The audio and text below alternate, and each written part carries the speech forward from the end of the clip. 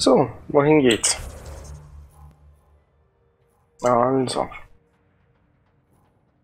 Forschungsstation. Ja, genau, da gehen wir hin.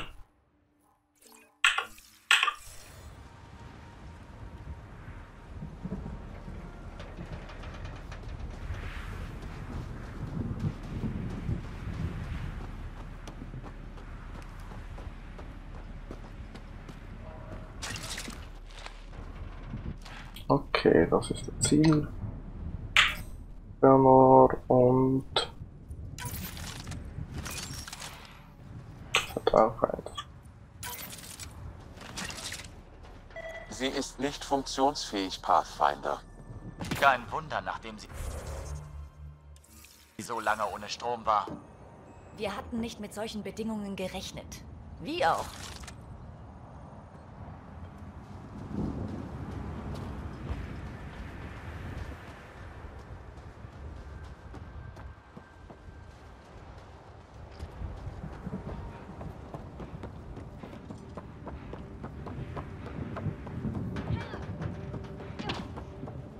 Komme ich auch nicht rein.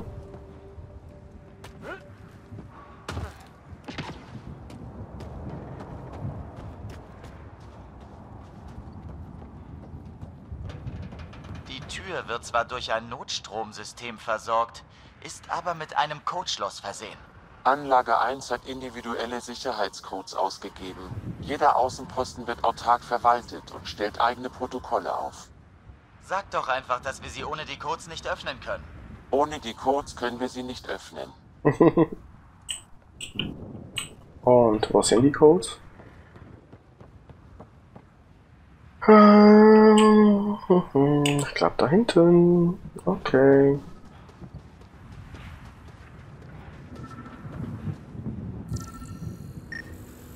Diese Analyse liefert uns wichtige Forschungsdaten, Pathfinder.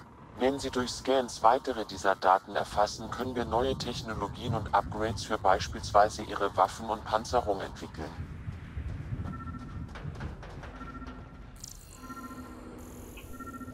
Wo hat's noch was? Hier drin vielleicht?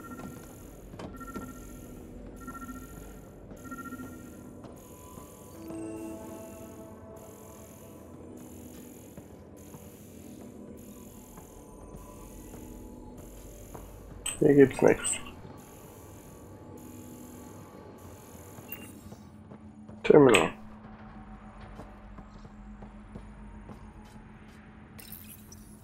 Ich habe einen Codeschlüssel gefunden.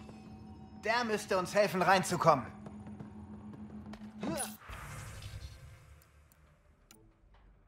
Mhm, Lock.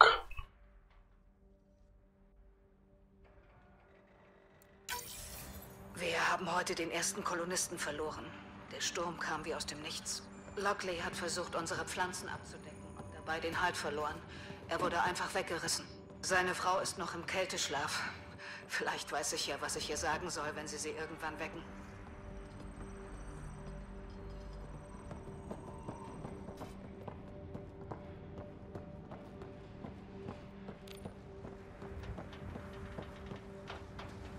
Okay, gehen wir da hin.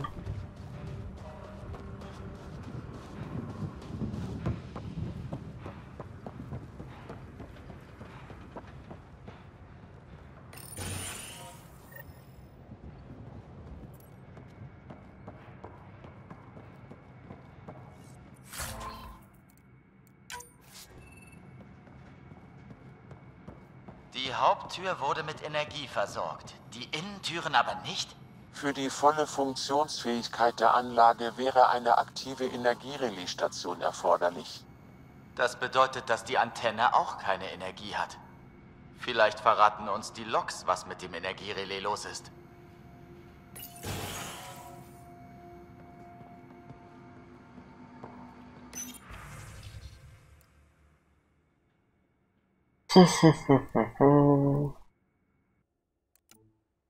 Hallo.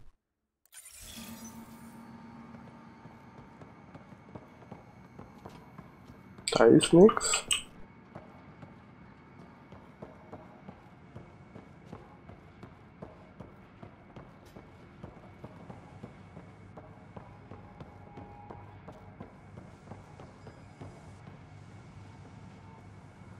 Forschungsstation. Ein Behälter. Eisen.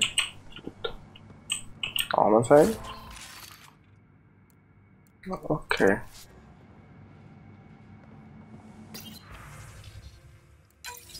Sandstürme, Strahlung.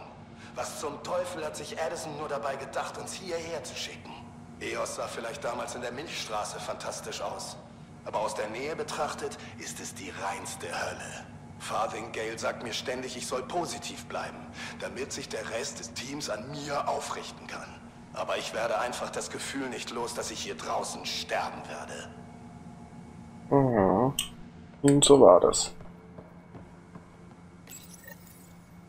Ich habe ein partielles Lock, kann aber die Antenne nicht einschalten. Etwas blockiert die Energieversorgung. Die Ursache ist eine externe Sperrung. Ihr Ursprung liegt in einem nahegelegenen Energierelaisturm. Dann sind wir also nicht die Einzigen, die sich dafür interessieren, was hier passiert ist. Sehen wir uns diesen Relaisturm mal an. Okay.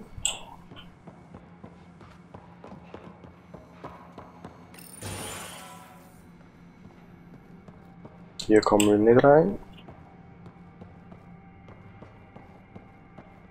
Na, dann gehen wir wieder raus. Sehen Sie sich das an. Dieser Ort ist eine Ödnis.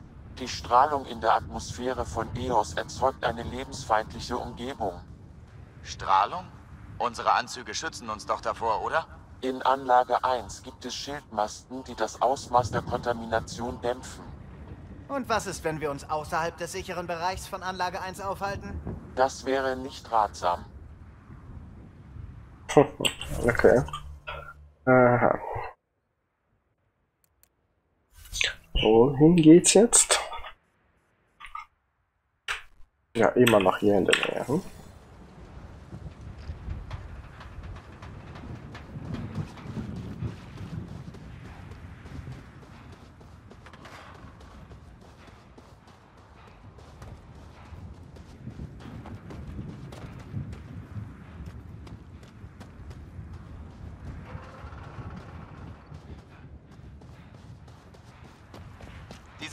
Bauwerk da vorne.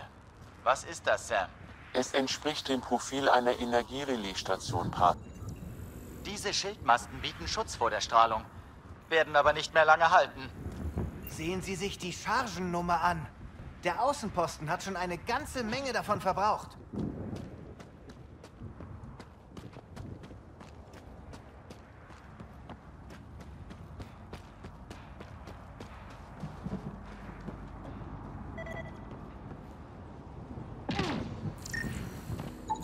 Pathfinder, diese Tür ist versperrt. Ohne Energie gibt es keine Möglichkeit, sie zu öffnen oder sich Zugang zu diesen Gebäuden zu verschaffen.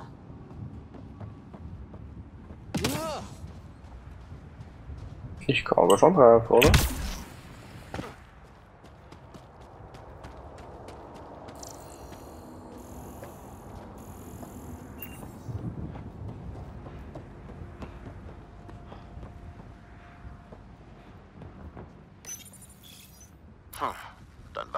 Kein Catch-Schiff.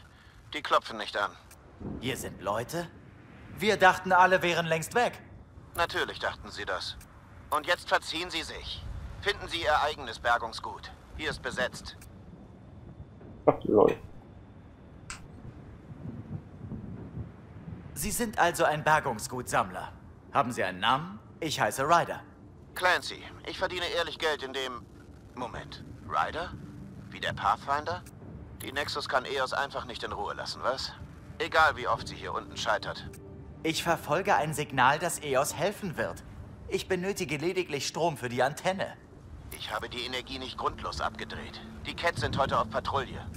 Wenn sie das Energierelais einschalten, wissen die, dass hier unten noch ein saftiges Ziel am Leben ist.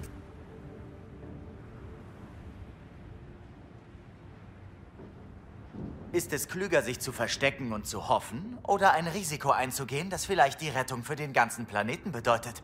Ich erinnere mich an die Zeit, als Leute so geredet haben. Okay, ich aktiviere die Generatoren da draußen. Wenn Sie den Tiger reizen wollen, bitte sehr. Okay. Machen wir uns bereit. Sobald wir die Generatoren starten, wird es vermutlich ziemlich ungemütlich.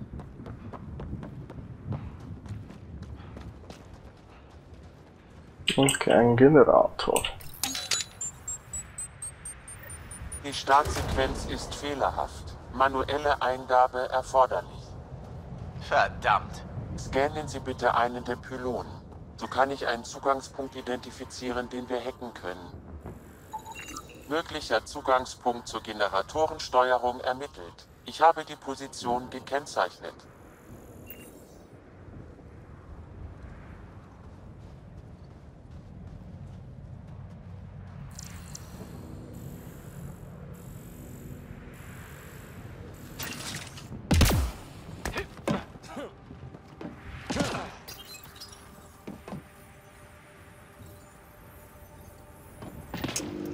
Generator ist aktiv. Sam, unser Freund Clancy, hat er dem Außenpostenteam angehört? Nein, Pathfinder. Den Unterlagen der Nexus zufolge ist er im Hangar stationiert. Und was macht er dann hier? Schwänzt er etwa die Arbeit? Vielleicht betätigt er sich ja nebenbei noch als Bergungsgutsammler.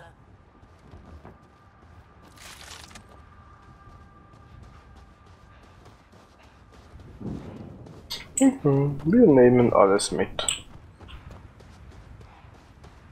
Behälter. Das sieht nach Bergungsgut aus. Und es ist neu. Höchstens ein paar Tage alt. Ist etwa noch jemand hier?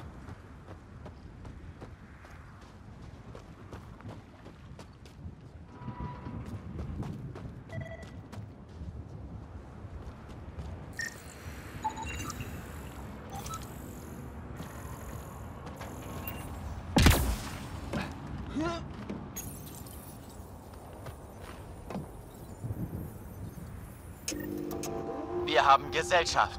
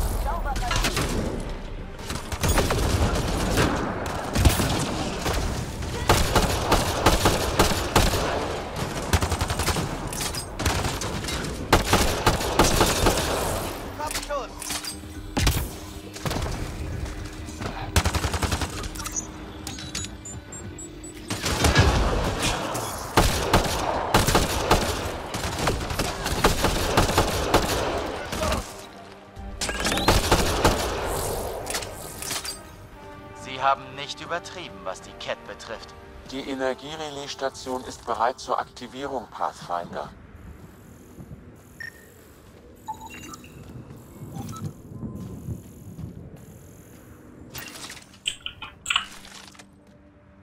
Okay, wohin geht's?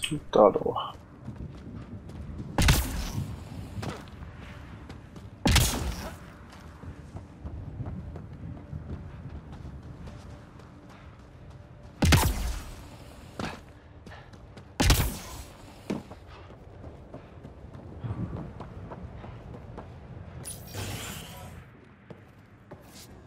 Sie haben alle Cat erledigt? Klar, benutzen Sie das Energierelais. Ach was, nehmen Sie sich was immer Sie wollen. Trotzdem ein kleiner Rat. Wenn Ihr Signal außerhalb des sicheren Bereichs liegt, benötigen Sie eine Fahrgelegenheit. Eine Fahrgelegenheit. Shuttles machen bei diesem Wind keinen Spaß. Sie brauchen Räder. Ich glaube, da steht noch eine Kleinigkeit im Lager.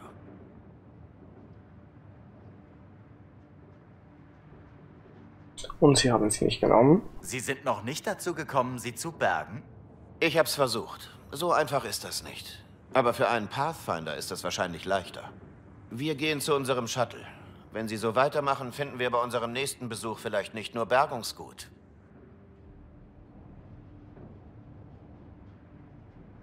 Bringen sie sich in Sicherheit. Passen Sie auf sich auf. Ab jetzt übernehmen wir. Die verrückte Blaue wird ihre Teile wohl bei jemand anderem kaufen müssen. Die verrückte Blaue. Ja.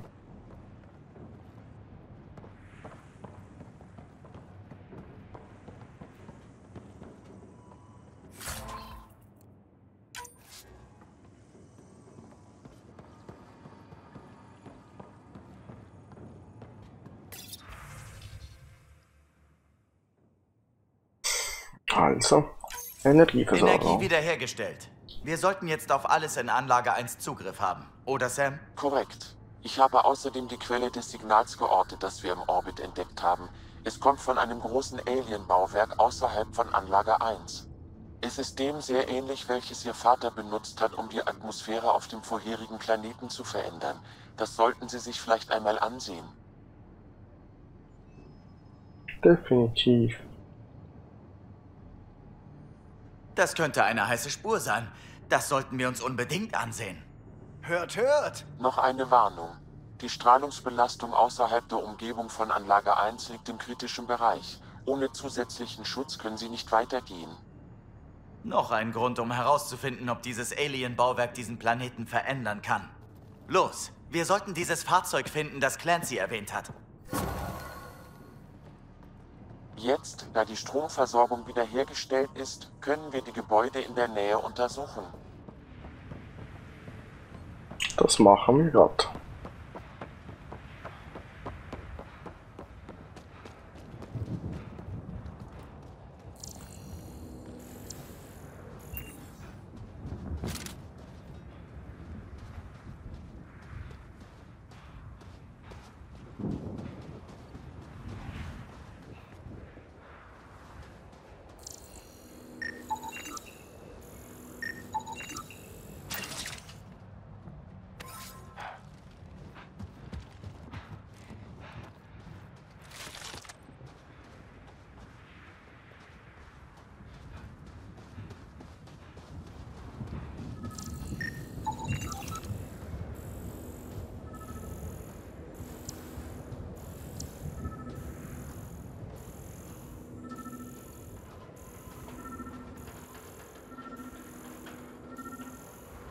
Hm, ist da was drin?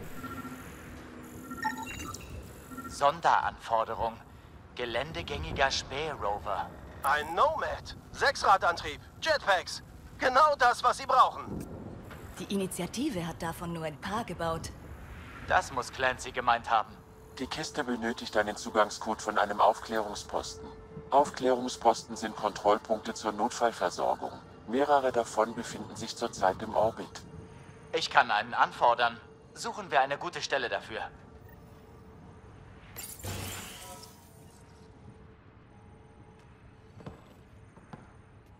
Na sowas.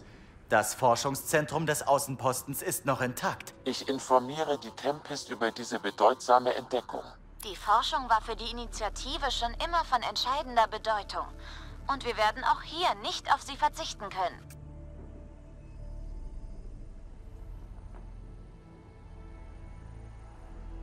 Diese Technologie ist der Schlüssel zu unserem Überleben in Andromeda.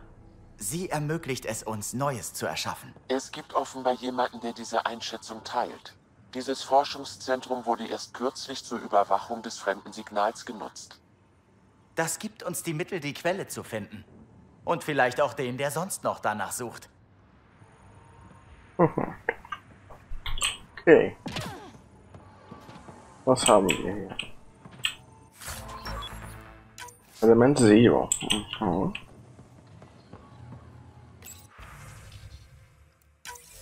Die Forschungsstation ist wieder online. Ich habe eine Liste von Waffen erstellt, die wir mit den erforderlichen Komponenten herstellen können. Benutzen mal. Forschung. Hm. Und Waffen.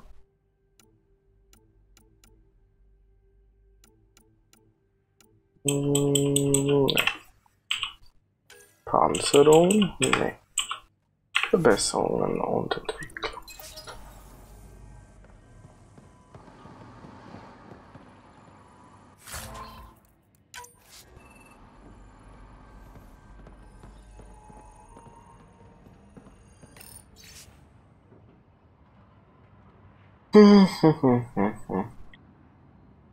Neue Bolzen abreißen.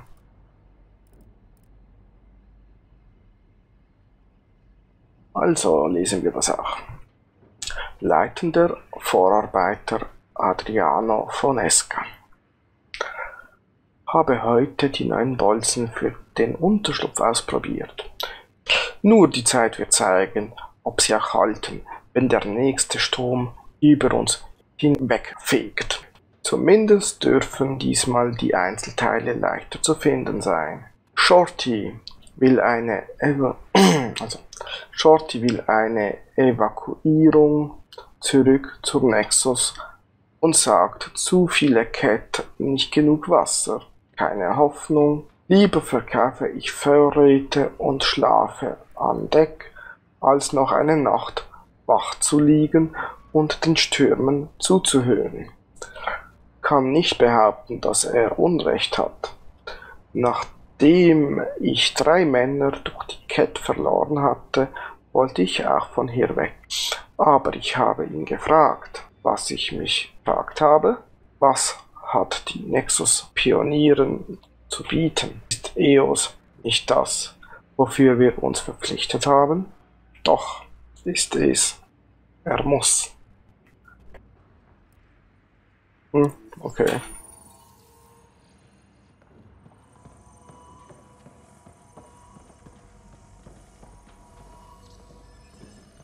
So, da ist nichts mehr.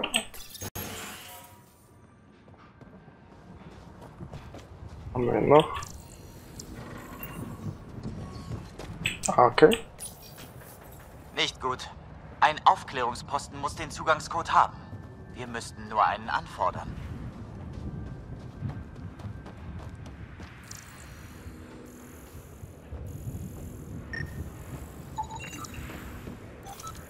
Was ist das?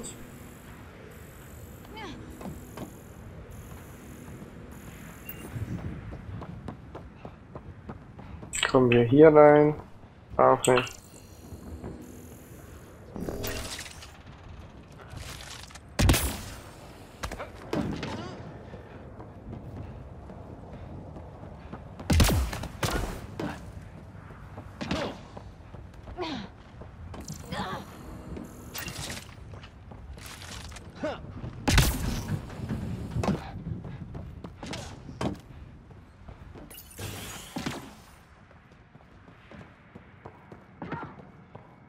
Aber hier.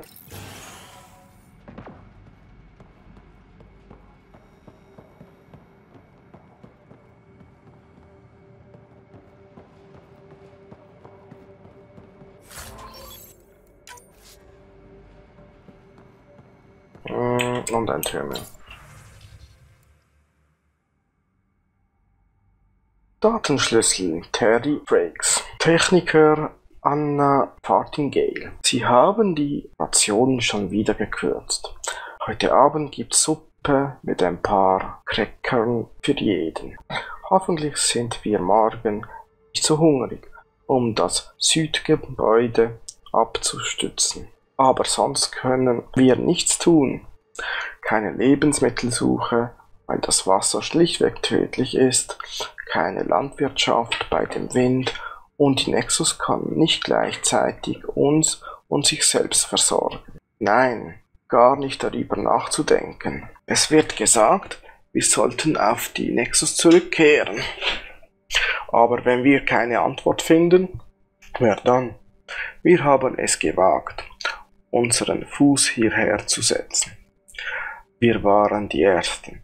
Und ich und Theo haben geschworen, durchzuhalten, selbst wenn wir die Letzten sind.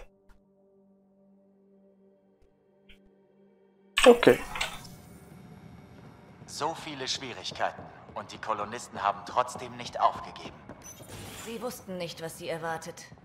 Niemand hatte es ihnen gesagt. Sam und ich hätten ihnen helfen können. Sowas kommt nicht nochmal vor.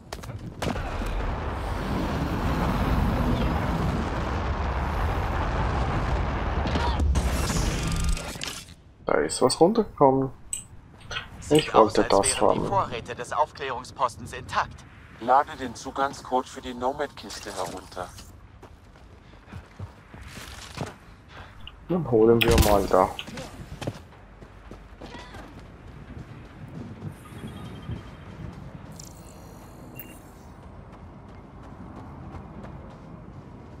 Ausstattung.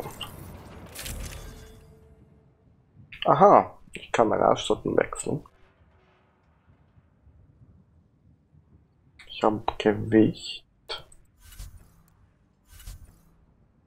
Das kann ich mir wechseln.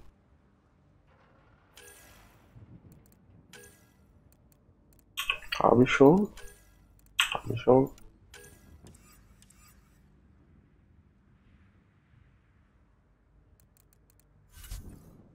Panzerung.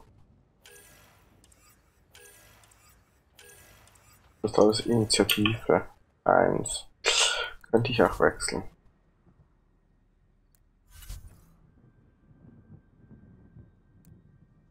Aha. äh, nicht, noch nicht, noch nicht. Terminal. Mhm.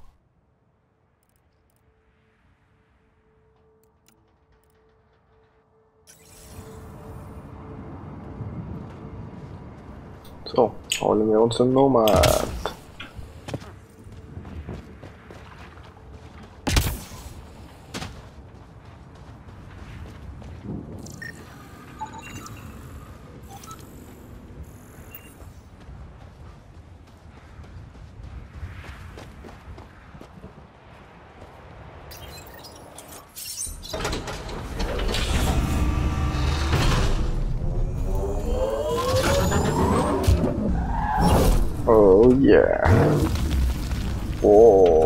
Nice, nice.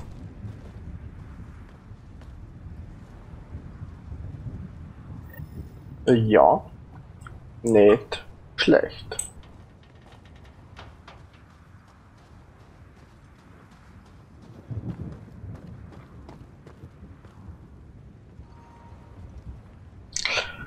So, wo geht's jetzt hin?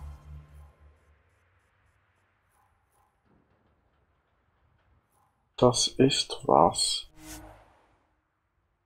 Ah, das ist eine Schnellreise. Erinnerungsauslöser. Dort kann ich hin. Aha. Das sind mal meine weiteren Aufgaben. Cool. Okay, gehen wir zuerst mal zur Nomad. Dahin.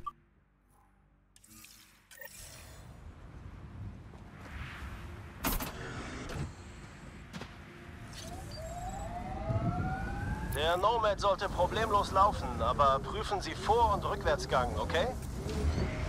Ja, läuft doch perfekt.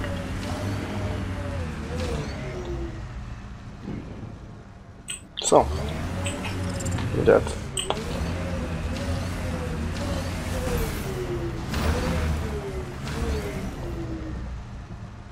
Bergbaucomputer ein, aus.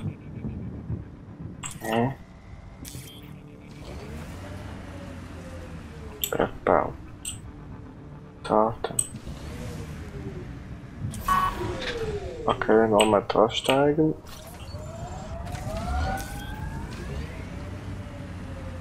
Einen Bergbau betreiben.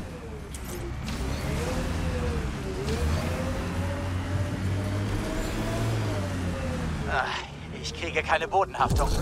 Es ist zu steil. Schalten Sie auf Sechsradantrieb um. Dann kommen Sie sofort auf. Und wie geht das? Ist noch sechs Rad.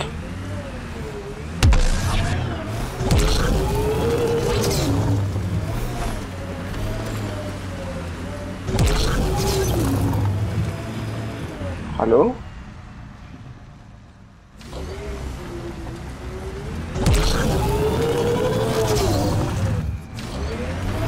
Also wir geben jetzt richtig Gas.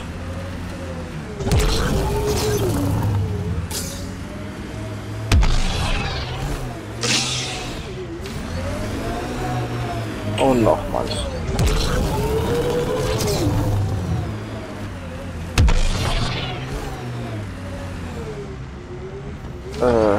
Hallo, Sechsradantrieb.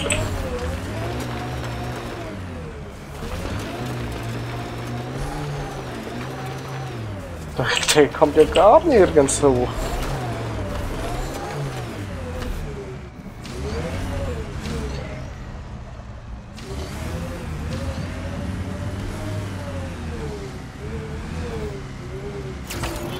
Aha. Mit rechter Maustaste. Okay. Bist du langsamer? Sie die Jetpacks des Nomad nicht. Damit überwinden Sie die meisten Hindernisse. Wenn Sie mehr Saft brauchen, können die Booster Sie beschleunigen und aus der Gefahrenzone bringen.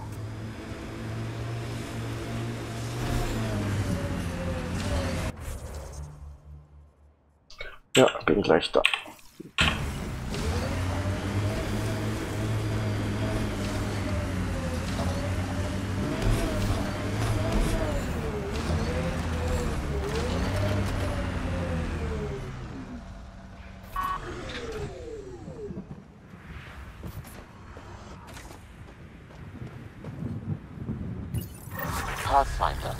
Das ist die Stelle, wo Sie Nigel McCoys Anhänger ablegen sollen. Zu Ehren seines Bruders, Dash McCoy. Okay.